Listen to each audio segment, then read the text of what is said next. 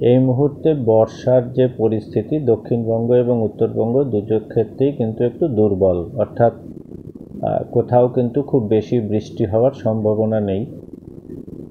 বৃষ্টি যেটা হবে সেটা খুব বিক্ষিপ্তভাবে, হালকা থেকে মাঝারি বৃষ্টি। এবং বৃষ্টি অনেকটা হবে হচ্ছে পাসিং শাওয়ারের মতন। অর্থাৎ একটা কিছুক্ষণ পাঁচ দশ মিনিট বৃষ্টি হলো, তারপরে আবার পরিষ্কার রৌদ্রোজ্জ্বল আকাশ যেমন দেখতে পাচ্ছি আমরা গত কয়েকদিনে, সেটাই কন্টিনিউ করবে আগামী আরও তিন থেকে চার দিন।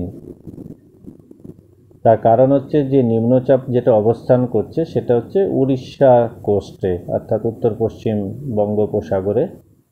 এবং মৌসুমি যে, বা যে নিম্নচাপ অক্ষরেখা যেটা, সেটাও কিন্তু যা নর্মাল পজিশন তার থেকে অনেকটাই সাউথে আছে মানে আমাদের থেকে অনেক নিচে আছে। যার ফলে মেঘ যেটা তৈরি হচ্ছে সেটা অনেকটাই সমুদ্রের ওপরে এবং বৃষ্টি বেশি হবে হচ্ছে উড়িষ্যার দিকেই।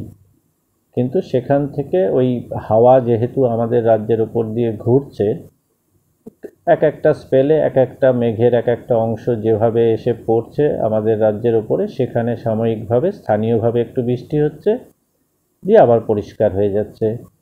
পাসিং শাওয়ার বলতে যেটা আমরা বুঝি। ফলে এখান থেকে কিন্তু খুব বেশি বৃষ্টি পাওয়ার সম্ভাবনা নেই।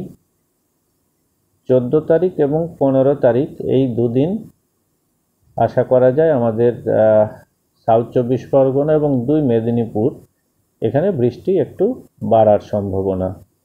বাকি জায়গাগুলোতে কিন্তু যেরম বললাম, হালকা থেকে মাঝারি এবং পাসিং শাওয়ারের মতন। টেম্পারেচার ফলে একটু বাড়ছে, যেহেতু রোদ উঠে যাচ্ছে এবং ময়েশ্চারও থাকছে। ময়েশ্চার যে থাকছে না তা নয়, কিন্তু বৃষ্টির মতন অনুকূল পরিস্থিতি নেই বলে সেই ময়েশ্চার এবং টেম্পারেচার দুটো মিলে যেটা হচ্ছে একটা আর্দ্রতাজনিত অস্বস্তি, সেটা বেশি থাকবে। আজ তক বাংলা, জানুন সব খবর সবার আগে। সাবস্ক্রাইব করুন আজ তক বাংলা। বেল আইকন প্রেস করতে ভুলবেন না।